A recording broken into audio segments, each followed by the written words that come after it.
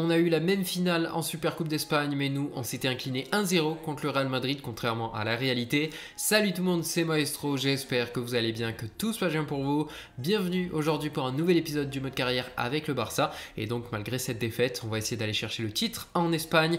On a aussi une Coupe d'Espagne à jouer, ça sera le premier match. Et puis bien sûr, la Ligue des Champions à aller chercher après l'échec de l'an dernier. Au dernier épisode, vous avez choisi Pedro Porro comme meilleur joueur. C'est la première fois qu'il remporte euh, ce trophée, ce trophée entre guillemets. Il a été excellent, il a été très bon défensivement, très bon également offensivement avec euh, beaucoup d'appels, beaucoup de projections. J'ai beaucoup aimé. Vous aussi, apparemment, même si j'ai fait un petit peu la, propagande. Donc je vous ai un petit peu poussé à, voter pour lui. Mais euh, franchement, je pense qu'il le mérite amplement. Tout simplement parce qu'on a besoin de 4 défenseurs centraux. C'est vrai qu'Eric Garcia ne joue pas beaucoup. On va essayer d'y remédier, notamment avec le, prochain match de coupe. Mais dans tout effectif, il faut garder au moins 4 défenseurs centraux. Et justement, Eric Garcia, c'est le, quatrième. Si jamais vous avez un de vos titulaires qui se blesse, ben, vous n'avez plus de remplaçant. C'est pour ça qu'il faut avoir un quatrième défenseur. Et c'est pour ça qu'on garde Garcia euh, pour le moment. Notre maillot fait son retour, hein, parce que c'est vrai qu'au dernier épisode, il y a quelques-uns qui l'ont remarqué, d'autres, bon, comme moi, ils étaient habitués, donc ils l'ont pas vu tout de suite. Mais j'avais pas, j'avais pas remis mes maillots créés pour cette euh, deuxième saison, donc là c'est bon, c'est à cause de la mise à jour hein, que ça, a planté. On va jouer donc le premier match. Celui-ci, je vais le faire euh, avec vous, hein, parce qu'on va faire des changements, donc j'avais envie de regarder un petit peu ce que ça donne euh, en manette en main au niveau des, remplaçants. Je vais faire jouer, comme on m'en a parlé, Eric Garcia, donc il est ici, j'arrive même à le trouver, tellement je l'ai, zappé ce joueur. Va également changer le gardien de but. Voilà, on va remettre Ansu Fati qui est en pleine progression en ce moment, ça fait plaisir. Et je pense qu'on va faire, euh, qu'on mettre Messi en faux numéro 9 à l'ancienne, voilà comme ça, avec un Rafinha titulaire. Pablo Gavi qui a été excellent en finale de Super Coupe d'Espagne, je vais le faire jouer également. Et puis un petit Christensen aux côtés de, de Garcia. Et dernier changement que je vais faire, c'est Baldé qui sera à la place de Grimaldo. Allez, c'est parti pour cette euh, première rencontre. Alors, le Racing Club que l'on va affronter, donc on est qu'au 16e de finale, hein, on commence très tôt, un petit peu comme en France. Allez, Neves, on retrouve justement le meilleur joueur, Pedro Porro, du dernier épisode, et la belle parade sur une tête qui était quand même lointaine, hein. c'était dur de, la mettre celle-ci. Pour Rafinha, Pedro Porro qui va prendre la profondeur, il y a Messi, je voulais, je voulais servir un petit peu plus vite, mais j'étais dans mon contrôle, et ça c'est un bon ballon pour Gavi, qui brille avec cette ouverture du score, mais une belle attaque placée qui, a inclus pas mal de joueurs. On l'a vu euh, notamment du côté droit, Pedro Porro qui est encore dans l'action, Messi qui est retrouvé ici dans l'axe, et puis après ça revient Ansu Fati, puis Ansu Fati qui était revenu vraiment euh, axial hein, sur cette action, et Pablo Gavi qui comme d'habitude chaque fois que je le titularise, il se projette énormément. Tous Ayas, il retrouve la balle, attention ça c'est une belle passe en profondeur, la belle sortie de la part de Mélier, et c'est pas terminé avec cette équipe du Racing Club et c'est bon, c'est récupéré. Ouh, heureusement qu'il y a main, heureusement qu'il y a main là. Bon après quand tu actives pas les mains, franchement se prendre une action comme ça sur un mec qui récupère de la main, c'est un peu frustrant quoi. À gauche, euh, on peut y aller avec euh, Pablo Gavi. Baldé, allez, on revient, on retrouve Gavi, mais la frappe pied droit qui passe euh, à côté. Allez, vas-y, vas-y, vas-y, vas-y, vas-y, vas-y. Ouais, super ça. Cet appel de Pedro Porro, j'aurais pu la mettre tout de suite. J'ai attendu avec Messi. Il y a du monde quand même dans cette surface. Et le deuxième but, eh bien cette fois, c'est Pedri. Aux côtés de Gavi, c'est lui qui vient marquer le deuxième but. Et c'est un petit peu le copier-coller hein, de l'action précédente, du but précédent, je veux dire. Avec euh, un ballon qui arrive du côté droit, Pedro Porro toujours dans l'action. Et ensuite, euh, cette petite passe vers Messi, ouais, c'est exactement le même scénario. Il y a juste la finition qui change. Gavi a cette bonne prise de balle. Et cet appel dans le dos de Rafinha. Allez, le contrôle, il est bon, mais la frappe n'est pas cadrée, dommage. C'était joli. Avec Vicente. Oh, le bon ballon. Oh, le bon ballon. Ça n'a pas suivi. Et la réduction du score. Attention. Sur cette fin de match, euh, qu'on ne soit pas surpris hein, par un retour là. Parce que pour l'instant, le match était plutôt tranquille. C'est vrai que ça a eu quelques occasions. Mais on, était, euh, on restait assez solide assez bon offensivement. Et là, sur ce coup, on a été pris. Ouais, dommage. Christensen qui n'était pas très bien placé. On va faire du changement d'ailleurs. On va faire entrer Kessier hein, pour renforcer euh, le milieu terrain. Reposer, reposer pardon, Pedri. Ah bah c'est tout. On peut faire entrer Ferran Torres après sur le côté gauche. Ça pourra apporter un petit peu. On va revenir plutôt ici dans l'axe.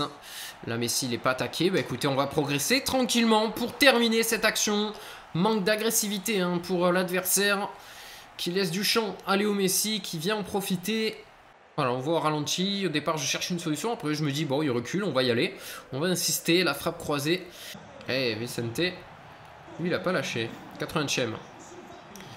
Le 3-2 pourrait être embêtant sur la fin de match. Et il va peut-être arriver. Mélier avait plongé. Mais malheureusement, il a tiré juste par-dessus. Et Gavi va finir le match, hein, vu qu'il n'en joue pas tant que ça. Mais euh, ouais, on, prend beaucoup de buts quand même dans cette rencontre. Ah, J'ai essayé de rester en place avec Christensen, mais ouais, j'aurais dû être un peu plus agressif quand même. Allez, on ressort pour chercher une... Oh là là, de l'autre côté, dommage. Allez, ça va être terminé. On va bien s'imposer malgré quelques difficultés avec ces deux buts encaissés. On a marqué trois buts, ça c'est bien. Des joueurs ont brillé offensivement. Je pense à Gavi, je pense à Pedri. Et puis à Messi qui a marqué son petit but sans être flamboyant à ce poste euh, daté. Bonjour, oui, c'est une bonne idée, on y a pensé à ce 4-2-3-1. Le problème, c'est qu'il implique de, mettre un Lionel Messi euh, dans l'axe. Or, euh, cette année, il a été meilleur sur un côté pour nous, donc euh, voilà, c'est pour ça qu'on n'y pense pas trop. Et puis, il y a aussi une, certaine alchimie entre Poro et, Messi, donc je pense que dans les deux sens, ça peut très bien marcher, surtout parce que Pedro Poro est en grande forme en ce moment. Après, c'est pas bête hein, d'avoir un, Pedro Porro euh, avec un Dembélé 4-2-3-1 avec Messi en 10. Du coup, j'imagine qu'il voulait dire ça. Le problème, c'est que tu dois jouer, enfin, tu joues, si tu joues avec Bernardo Silva et, Pedri, en MDC, c'est trop juste, c'est pas possible. Il faut avoir quand même un autre joueur un peu plus défensif et c'est pour ça que je préfère ce 4-3-3 là, euh, en tout cas pour, pour démarrer. Comme je le disais, la relation Pedro Porro-Messi est aussi très bonne, donc ça marche, euh, ça marche aussi bien. Off de transfert pour Neves, donc ça, ça m'intéresse pas. Euh, le prochain, c'est Bilbao, donc on va aussi jouer. ça sera le prochain hein, que je ferai en, moment fort, celui d'après encore. J'ai vu que c'était pas un match exceptionnel. Ah, mais non, on a la Coupe d'Espagne encore. J'avais pas vu qu'il y avait un match qui allait se mettre comme ça.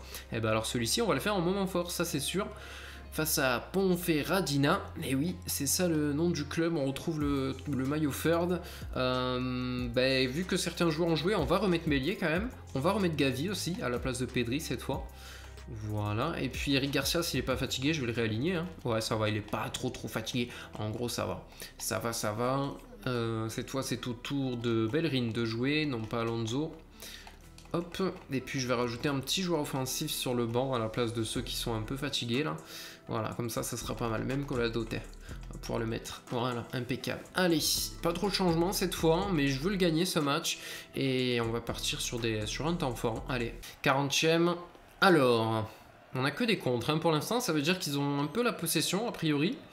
Ce qui est plutôt surprenant. elle m'énerve cette souris à toujours s'afficher en ce moment, il y, a, un bug comme ça. Toujours la souris qui s'affiche sur PC d'un coup. Et par contre, Dembélé, il est bien parti là. Aïe, aïe, aïe, aïe, aïe, le manque de finition. Je sais pas pourquoi il est pas tiré du gauche. Hein. Allez, restez solide. Bon, là, par contre, euh, c'était pas très suivi hein, par euh, Grimaldo. Et on va tacler, c'est bon, tranquille. Alors, possibilité de centre, 53ème. Euh, bah, à part le retrait, je peux pas faire grand chose. Notamment Lewandowski, la belle frappe, qui va être repoussée par le gardien. Lewandowski, je l'ai vu, mais j'ai peur qu'il puisse pas le prendre de vitesse, là, le défenseur. Lui, par contre, il hein, n'y a pas de problème. Pour Dembélé, l'ouverture du score. À l'heure de jeu, Ousmane Dembélé, qui cette fois a tiré du pied gauche. Même si c'est vrai qu'il a les deux pieds au final. Hein, à chaque fois, je, je dis mauvais pied. Je préfère quand même tirer avec le, le bon pied. 5 étoiles, mauvais pied, normalement c'est exactement pareil. Des fois, sur Fut Champion, je me pose la question quand même. Eh ben, c'est déjà fini. C'est déjà fini, victoire 1-0. Bon, c'était pas une victoire sensationnelle. Mais écoutez, on a pris euh, la qualif, c'est le principal. On va pouvoir enchaîner sur les quarts de finale, hein, déjà, puisque là, c'était les huitièmes. C'est vrai que la Coupe d'Espagne, ça s'enchaîne extrêmement vite, même si ça commence assez tôt. Je suis content. Alors ça, c'est 31 janvier. J'y songerai. 31 euh, janvier, l'éventé, j'ai pas vu. Ah oui, il y a l'éventé aussi. Ah, c'est les quarts de finale. Encore. Ça, ça, se met, ouais, ça se met vraiment. Euh, ça enchaîne les trois matchs en janvier, d'accord. Je pensais vraiment que ça, pas que ça enchaînait aussi vite, quoi. Les trois matchs comme ça en, juste quelques semaines. Je pensais que c'était un peu réparti aussi sur le mois de février, euh, ce qu'il y aura sans doute hein, si jamais on, se qualifie. Et donc les quarts de finale face à l'éventé. Euh, bah écoutez, déjà on jouera en jaune. Hein. Je vais refaire des moments forts. Et puis on jouera Bilbao ensuite. Alors, alors, alors, bah tiens, caissier d'ailleurs, on va le faire jouer à ce poste, hein. même si c'est pas son meilleur, je trouve. On va remettre Mélier, j'espère que Ter Stegen il va pas mal le prendre et que je le fasse pas trop jouer en ce moment. On va remettre l'association euh, Gavi-Pedri, en mettant Pedri plutôt à gauche. pour qu'il soit un peu plus à l'aise. Voilà, Torres, Messi titulaire. On va laisser Lewandowski. Donc là, c'est quand même un match important, hein, donc je fais un peu moins de changements. Et puis, euh, et puis euh, Baldé. Bah, J'aurais pas réussi à le vendre, hein, Alonso, malheureusement. Euh, bah, comme, il va prendre sa retraite, hein, c'est très difficile de vendre des joueurs qui prennent leur retraite, malheureusement. C'est. C'est compliqué. Allez, bon, on va y aller comme ça avec les moments forts. Il faut juste que je change le maillot. Ah, c'est l'éventé cette fois qui part en solo et Koundé qui est placé assez bizarrement. Un peu trop sur la droite. Euh, bah là, on va être obligé de jouer avec le gardien. Bon, c'était tranquille. Hein. Et comme ils se font avoir avec cette feinte là, c'est assez incroyable. On a des bons joueurs de tête quand même. Kessier, il en rajoute un peu aussi. Et c'est lui peut-être qui va être au duel la barre transversale. Attention, j'ai pas pu me dégager. On a eu très chaud là hein, sur cette occasion. Avec euh, Pedri. À gauche, il a mis trop de temps à arriver malheureusement. On va donc insister sur le côté droit. Léo Messi. Léo Messi, le petit ballon pour les de ski. L'ouverture du score du Polonais. 1-0 avant la mi-temps. Allez, c'est bien. On a bien réagi après les occasions de, de l'éventer. Est-ce que je la balance tout de suite sur Messi ou pas? C'est la question. Allez, on va la balancer. Est-ce qu'il est hors jeu? J'ai pas vu. Normalement, il était avant la ligne médiane. Lui là-bas, il est hors jeu, ça c'est sûr. On va donc euh, terminer avec Léo Messi, le deuxième but. Forcément, l'éventé qui a tenté d'attaquer et qui a créé des espaces. Dans sa défense, on a profité avec euh, notre numéro 10. A priori, on va bien s'imposer et aller directement en demi-finale pour essayer de se rattraper de la Super Coupe d'Espagne. Attention à Bulgini. Rester de... Essayer de rester solide avec Aroro. Et c'est bon, on l'a bien contré et c'est terminé. On se qualifie pour le prochain tour. Une victoire 2-0 contre l'Eventé. C'est passé tranquille. Eh, il n'y a plus le Real, hein. Il n'y a plus le Real dans cette compétition. Il reste Séville, Cadiz, Retafe ou Betis du coup. Ça dépendra des deux. Et euh, donc on va avancer. Bon, euh, il nous reste encore quelques heures. Oui, je sais que j'ai pas pu vendre Alonso, mais je le vois pas partir dans les 10 prochaines heures. Hein. Allez, cette fois, c'est Bilbao. On se replonge dans la Liga. On a toujours un point d'avance sur le Real Madrid et beaucoup plus hein, sur Séville, alors que l'Atlético est derrière Séville. Le Betis est un petit peu plus loin encore. Et donc on affronte le sixième tout de même. Attention à cette équipe euh, de Bilbao. Je vais peut-être jouer en jaune là aussi. Ça sera plus agréable. Euh, Lewandowski qui a un petit peu moins de forme, tout comme Messi, hein, mais on va, les, maintenir. Ce sont les joueurs clés hein, dans cette équipe, bien sûr. Et puis euh, j'ai bien aimé Caissier. Je, crois que je vais le remettre. Je vais le remettre Caissier ici en, sentinelle. À ce poste-là, on va garder quand même Rafinha sous le coude, hein, parce que même Fati, parce qu'on va devoir faire des changements durant cette rencontre. Mais sinon, on va partir avec l'équipe type. Allez, c'est parti pour cette rencontre dans le magnifique San Mames, le stade de Bilbao qui est, très beau. Hein. Il y a vraiment euh, de belles, euh, de belles infrastructures ici. Et il faut les battre. Les sixièmes pour euh, garder notre avance à la première place. Voilà l'entente pour Messi. On la retrouve ici avec l'appel de l'Argentin. Petit appel également. Ouh, c'était pour les vents de ski. Et c'est une main. C'est une main. Il a pas... Ah, là, il n'y a, pas assez de... a pas assez de pressing. Il est où, Caissier? Aïe, aïe, aïe, aïe, aïe. L'ouverture du score hein, de Bilbao. Ah, je l'ai vu au milieu de terrain, là. Un manque d'agressivité. Pourtant, Caissier, c'est quand même un joueur assez agressif. Mais là, niveau positionnement, c'était pas génial pour l'ensemble du milieu. Hein. Je remets pas la cause que sur Caissier. Mais euh, ouais. Et même moi, défensivement, là, j'étais pas sur les, sur les bons joueurs. Allez, il nous reste beaucoup de temps. On savait hein, que Bilbao pouvait nous embêter. Ah, c'est là hein, qu'on voit le problème. Vous voyez Caissier comme il était haut là? C'est ça hein, que je disais euh, par rapport à son rendement euh, élevé. C'est un super joueur, hein, mais quand vous le mettez en MDC avec son rendement élevé euh, devant, c'est un peu compliqué. Et Dembélé qui va nous tirer un excellent corner. Malheureusement, ce duel a été remporté par le défenseur. Pas hors jeu Dembélé, pas de souci. Et là, et là c'est un bon ballon pour Léo Messi. L'égalisation de Messi. On le voit pas trop dans le jeu euh, sur euh, les derniers matchs, mais il est efficace. Il est efficace et c'est ça qui compte, particulièrement dans ce type de rencontre où Bilbao nous embête. Et donc on revient assez vite dans cette rencontre. Suite à un corner d'Embélé qui n'était pas hors jeu, il va retrouver Lionel Messi dans la surface pour une belle frappe. Voilà, le bon retour de Pedro Porro. Ça, c'est une récupération importante. On va tenter le 1-2 avec lui. Ah, le défenseur, il est pas bête. Il a compris, mais c'est bon. On retrouve Léo Messi. L'enroulé était beau. Mais la parade du gardien de but. Et c'est vrai qu'en plus, je dois gérer euh, Messi et Lewandowski. Allez, vas-y. Voilà. Le petit retrait avec Grimaldo. C'est compliqué. Il y a du monde. Il y a du monde dans cette surface. Léo Messi, le pied droit de Léo Messi pour le doubler à l'heure de jeu. On vient prendre l'avantage et heureusement qu'on reprend cet avantage parce qu'il va falloir que je fasse sortir Messi pour qu'il puisse se reposer. On l'avait vu, sa forme est, moins bonne. Et c'est un petit peu... Enfin, on voit la différence avec Lewandowski. Euh, j'ai eu plusieurs actions un petit peu comme ça. Le problème, c'est que Lewandowski il a une vitesse d'exécution qui est beaucoup moins importante que Léo Messi. Ah, je vais changer dès maintenant. Il vaut mieux, euh, vaut mieux éviter les blessures. Il vaut mieux éviter qu'il soit cuit hein, pour le prochain match. Pas fini ce match. Hein. Oh là là, j'étais dessus. Mais malheureusement, c'est passé au travers. Et c'est... Oh là là, quelle action quelle action de Bilbao Allez, on va faire entrer Ferran Torres. De toute façon, Lewandowski, dit, il n'est pas très bon dans cette rencontre. Mais euh, Bilbao n'a pas besoin de beaucoup d'occasions. Là, c'est dommage que ce soit passé au travers, parce que j'avais bien senti cette passe. ensuite, euh, la super passe euh, dans la surface, là, c'était très très bien joué. Ferran Torres. Et pourquoi pas? Et pourquoi pas pour Ferran Torres? Il faut y aller de l'avant. Pedri, la frappe qui va être repoussée par Unai Simon. Grimaldo. Ah, il faut avancer au maximum, puisqu'il m'attaque pas. Et le petit ballon par-dessus. Oh, qu'il est bon. Oh, qu'il est bon, ce ballon. Mais la finition de Ferran Torres qui manque ici. Oh là là, quel dommage sur cette action. Ou ça peut être un tournant hein, dans la saison. Allez, ah dommage, ça va se terminer. Aïe aïe aïe, le match nul. Le match nul ici contre une belle équipe de Bilbao, deux buts partout. Ah, ils ont été très forts, très très forts sur leur peu d'action. Ils ont réussi à marquer. Et euh, défensivement, on a eu la dernière hein, avec Ferran Torres, mais malheureusement, on, s'est raté. Quel dommage, ça va compter hein, au classement. Certainement, en tout cas au niveau de, la quantité. En qualité, ça seul la fin de saison nous le, nous le, dira. Mais oui, on a déjà un effectif extrêmement complet. Donc j'ai pas, pas senti euh, que ce soit nécessaire de recruter d'autres joueurs au risque de ne pas leur donner suffisamment de temps de jeu. Ah ben on a Séville qui s'est mis, euh, mis dans le mois de février. Alors le mois de février il est extrêmement chargé, hein, comme vous pouvez le voir. Donc là, euh, il y a beaucoup de joueurs qui vont pouvoir avoir un peu plus de temps de jeu alors qu'ils n'en avaient pas auparavant. Et on va avancer jusqu'au match. Avant de regarder le, classement, je voudrais savoir si le Real euh, s'est imposé pour repasser devant nous dans cette, euh, dans Liga. Et oui, et évidemment, euh, le Real en a profité et se retrouve à un point de nous désormais. Bon, c'est dommage, c'est dommage, mais évidemment, il y aura encore d'autres occasions hein, pour, pour les doubler. Même Séville s'est rapproché, du coup, l'Atletico également. 7 points d'avance quand même pour nous, ça reste assez confortable par rapport à ça. Ce qui nous intéresse surtout, c'est la première place. Allez, on commence par un match du côté de Séville justement.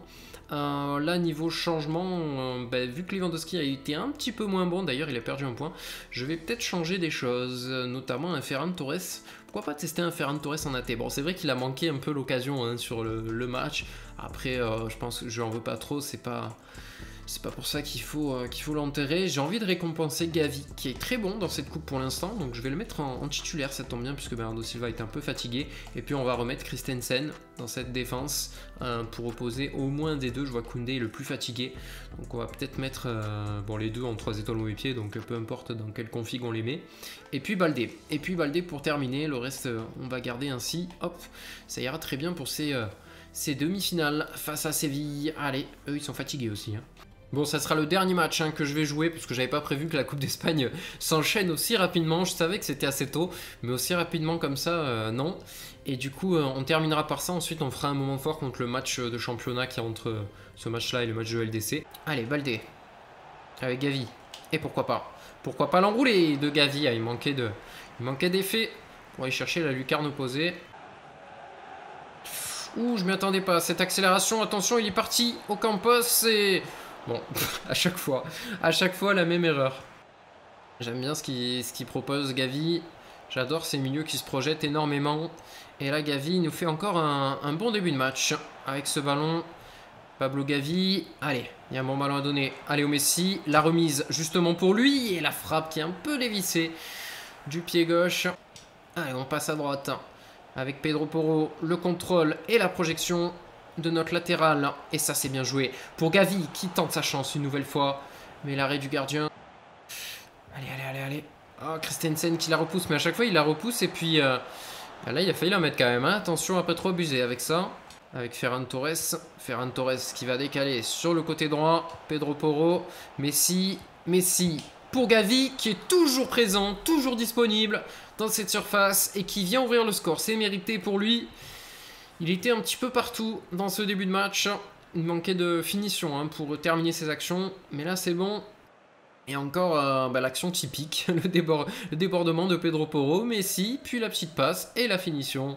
Quand c'est pas Pedri, c'est Gavi, Baldé. On y arrivera après, par ici. Gavi qui a le ballon. Allez, la petite passe pour Ferran Torres, c'est bien la passe D. Pour Ferran Torres qui a marqué le deuxième but face à Séville. On est plus solide et surtout plus tranchant offensivement avec un excellent Pablo Gavi. Il a un petit air de, de hein, sur sa modélisation, je trouve. Mais en tout cas, il était toujours là, à l'entrée de surface, et il se comporte très bien pour donner son ballon euh, à un coéquipier qui vient marquer poteau, rentrer un peu de réussite. Et là, il est direct dans son dos. Non, il n'y a pas d'hors-jeu. Il était couvert. Et cette frappe qui va passer à côté. Ils ont quand même des occasions. Hein. L'air de rien. Et je vais faire entrer Koundé pour opposer à Roro, là. Faut beaucoup de puissance hein, pour ce genre de coup franc. Bon, là, j'en ai mis un peu trop, j'avoue. Mais, oh, ça a failli finir en but avec la reprise de Gavi. On va faire entrer en Fachi. Neves qui était venu au contact. Et attention, ça serait bête de se prendre un but. Il y a un match retour à faire. Et oui, et on va devoir déplacer le gardien. Ah, je l'avais, en plus, je l'avais déplacé exactement vers là. On va se prendre cette réduction du score qui va sans doute compter pour le match retour. Alors attention. Aïe aïe aïe, c'est dommage. Un seul point noir de cette rencontre de prendre ce but à la fin là. Alors qu'on restait quand même très solide sur l'ensemble du match. Mais là, de mauvais placements. Et regardez, hop, comme je bouge Ter Stegen, mais sauf qu'il plonge dans l'autre sens. Alors que c'est complètement stupide parce que quand vous bougez un gardien vers un côté, il devrait plonger dans ce côté-là. Mais non, il a plongé n'importe comment. Bon, ben, je crois que ce match va se conclure dans la foulée, non? Il me semble, ouais, c'est fini. C'est fini, victoire 2-1. C'est bien, on s'est imposé, mais vu la physionomie du match, c'est quand même dommage qu'on ne soit pas resté invincible dans cette rencontre. Bon allez, on va se remettre dans le championnat pour terminer, et notamment des temps forts. Alors là, il va falloir faire de la gestion hein, face au 19ème. On est capable de... le Real qui a gagné hein, contre Séville. On est capable de les battre en faisant euh, plusieurs changements, et c'est absolument nécessaire euh, pour pouvoir enchaîner sur le, prochain match. Donc comme promis, on va mettre Fati en titulaire, je vais mettre Kessier aussi à la place de, Pedri. Et on va laisser Bernardo Silva cette fois. Christensen, à la limite, il va jouer à la place de d'Aroro, euh, qui a joué un petit peu tous les matchs, généralement. On va remettre Baldé aussi. Baldé, Baldé. Je crois que j'ai envie de titulariser Gadi euh, sur la Ligue des Champions pour le récompenser un petit peu de tout ce qu'il nous a montré dernièrement. Par contre, exceptionnellement, ce que je vais faire, c'est que je vais mettre, euh, je vais mettre à droite. exceptionnellement, juste parce que Messi, on a besoin aussi de le garder en forme. Et puis, euh, et puis voilà, c'est déjà pas mal en termes de, changement là. Ça me plaît bien de tout du moins. Allez, c'est parti donc pour les temps forts. Je peux pas y aller pour l'instant. Essayer de rester euh, bien en place pour attaquer avec Ansu Fati, Baldé. Baldé qui retrouve euh, Lewandowski. Là, il y a une possibilité pour Bernardo Silva. Et l'ouverture du score face à Las Palmas. On le voit moins ces derniers temps, Bernardo Silva. Sans doute éclipsé par un excellent Gavi aussi parce que je le fais moins jouer, tout simplement. Attention. Cardona, il n'y a pas d'enjeu visiblement. Même si ça avait l'air limite. Hein. Jonathan Vieira. Eh oui, là, c'était obligé. J'ai tenté. Oh là là, la réussite. Même pas laissé le temps de dégager, vous voyez. Comme ça, c'est plus pratique au moins. Vous pouvez pas rater vos relances. Allez, le corner. Et pourquoi pas le lancer en profondeur. Il est jouable, ce ballon. Allez, une bonne, bonne reprise de Lewandowski qui a été repoussé en corner. Hop là, nouveau corner. Encore une belle puissance pour trouver la tête de Lewandowski, puis celle d'Aroro. Pardon, ça a été repoussé par le gardien. Et on va pouvoir partir en solo pour enfoncer le clou à l'heure de jeu. C'est important hein, parce que là, ça nous permet euh, de valider pratiquement cette victoire. Ansu Fati, il y a des appels, mais on va tromper le gardien d'une frappe croisée. Le deuxième but Signé l'Espagnol, Ansu Fati. Ouais, ça y est, c'est terminé. C'est terminé, une victoire 2-0 contre Las Palmas. C'est bien, on a réussi à marquer nos, occasions. Malheureusement, on ne dépassera pas le Real Madrid qui s'est imposé. Mais au moins, on, reste collé. Bon, ben on va donc euh, s'arrêter là. Alors il nous affiche le classement, mais bien sûr on est en huitième de finale hein, face à la Roma. Un match qu'on jouera du coup au prochain épisode. Hein. J'ai fait beaucoup de, beaucoup de rencontres finalement. On a commencé en coupe, on a enchaîné, hein, on a enchaîné 3, 4 matchs de coupe, 2 matchs de championnat. Donc c'était euh, un épisode assez, euh, assez plaisant, avec quelques rebondissements. Ben, dans l'ensemble, ça s'est très bien passé. Dommage ce match nul hein, contre Bilbao, c'était le, plus bon le plus beau match à mon sens, hein, avec un adversaire de, grande qualité. Mais euh, au prochain, ben, du coup au prochain, on pourra jouer les, deux, match aller, match retour, je pense. on fera ça. On fera ça. Je sais pas où la finale va se glisser, la finale de, Coupe d'Espagne, je vais dire. Bah, certainement au mois de mars, ça c'est sûr. Je pense euh, peut-être par ici, là. Peut-être vers le 21-28 mars, je sais pas. On verra ça, on verra ça. Déjà, il faut battre Séville, hein, parce qu'on a gagné que 2-1, donc euh, il peut se passer beaucoup de choses. Donc au classement, juste, hmm, ben, on a repris, on a deux nouveaux 10 points d'avance sur Séville et, l'Atlético, qui ont tous deux connu des échecs, hein, visiblement. Et par contre, la différence de but, elle est nettement inférieure euh, au Real Madrid, qui a moins encaissé et plus marqué, hein, tout simplement. D'accord, d'accord. Et qu'est-ce qui s'est passé dans l'autre euh, demi-finale? Eh bien, le Betis a gagné 2 Bon, a priori, le favori, hein, c'est le Betis hein, pour la finale. Nous aussi, nous sommes favoris avec cette victoire. Et donc, le top 3 hein, de cet épisode, eh bien, je vais choisir le, trio qu'on a vu euh, plusieurs fois, à savoir Messi, Pedro Porro, encore une fois, même si euh, vous ne le verrez pas sur toutes les séquences, mais croyez-moi, il est excellent. Et puis, euh, et puis Gavi, Gavi qui a brillé hein, dans cet épisode, j'espère qu'il va, va augmenter encore. D'ailleurs, je vais voir si j'ai pas un plan à lui mettre. Donc, euh, Porro, Messi et Gavi. pour les meilleurs joueurs, Christensen a été plutôt pas mal, bon, sur quelques matchs où je l'ai titularisé. Il était bon défensivement. Et, et j'ai bien aimé. Alors, on n'aurait pas un petit plan à lui mettre un peu plus rapide? Voilà, on semaine. Pour lui mettre, pour l'augmenter défensivement, ouais, ça peut être utile. Après, un peu plus de vitesse aussi, ça me plairait bien, milieu axial, ouais. Je vais augmenter plutôt ça en semaine, comme ça, il gagnera un, nouveau point. Sauf s'il en gagne un autre euh, d'ici là. Ok, alors que Pablo Torre est en plus 4, hein, vous voyez, j'ai bien, bien fait de le prêter du côté de, la Spezia. Bon bah écoutez, merci à tous en tout cas d'avoir regardé euh, cet épisode, j'espère que ça vous a plu. Moi j'ai pris euh, beaucoup de plaisir, on essaiera de remonter à la première place au, prochain et puis de faire euh, bonne figure en Ligue des Champions pour se qualifier face à la Roma tout en continuant d'aller chercher la, Coupe d'Espagne. Allez, je vous souhaite à tous une très bonne fin de journée et je vous retrouve très bientôt pour de vidéos. C'était Maestro, très beau week-end à tous, ciao